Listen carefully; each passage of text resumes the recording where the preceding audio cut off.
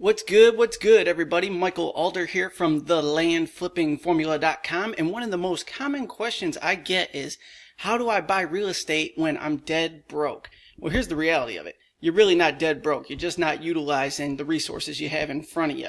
So this quick video I'm going to share with you, I'm going to show you how to get into your first or next uh, real estate deal with minimal investment and not having to actually borrow the money from anybody either. You're just going to use the resources at hand. So of course we all want this nice waterfront property here, but it all starts in baby steps. You don't go from nothing to mansions. You got to uh, make small investments, flip them, turn them into cash flow, whatever it may be, and scale. So eventually we all have a palace like this. So where to begin? Let's go to our garage. Man, you are nasty. Look at this stuff you have everywhere. Chances are you either have a pile of crap in your garage or your basement, your closet, whatever the case may be.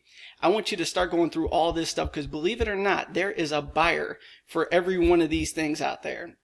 Bust out your smartphone and start taking pictures of everything that I want you to shoot over to Craigslist and go to US Craigslist. Most likely you're watching this in the US and start listing this stuff in your hometown. And I'm talking fire sell this stuff.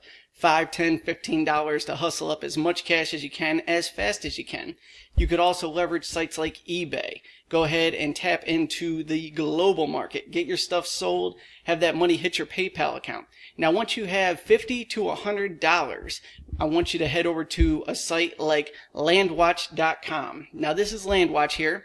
You could filter your search results here, and you might be saying, Mike, why am I starting with land? Well, here's the deal it's a heck of a lot easier to invest in raw land and go ahead and turn around and resell it on seller finance terms or flip it for a lump sum of cash or just buy and hold to go ahead and get the appreciation on the back end.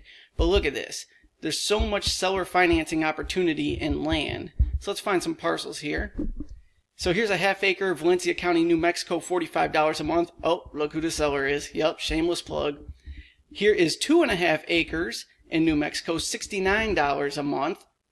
So you could start out with parcels like this, just making minimal monthly payments and go ahead and enhancing uh, your net worth and your monthly uh, cash flow if you or if you turn around and resell them on terms. Another place you could go is getcheapland.com. And yes, I own that site.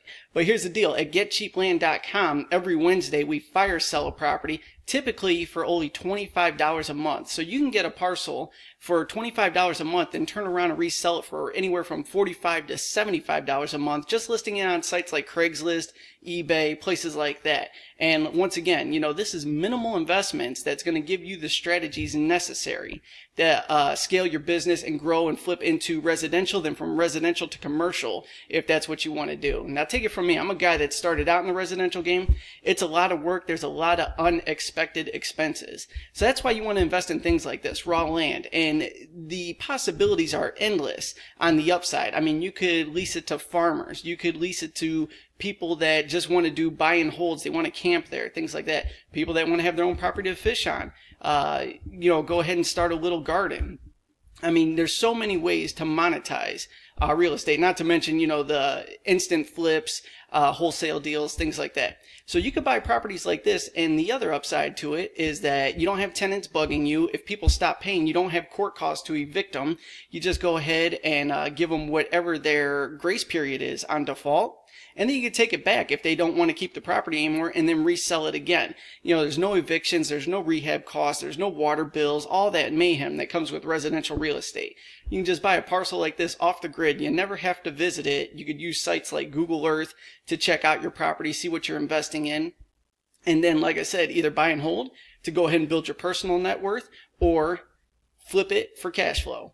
Now, if you're interested in turning it into cash flow, go ahead and stop by the landflippingformula.com. When you go there, you're going to see this landing page right here.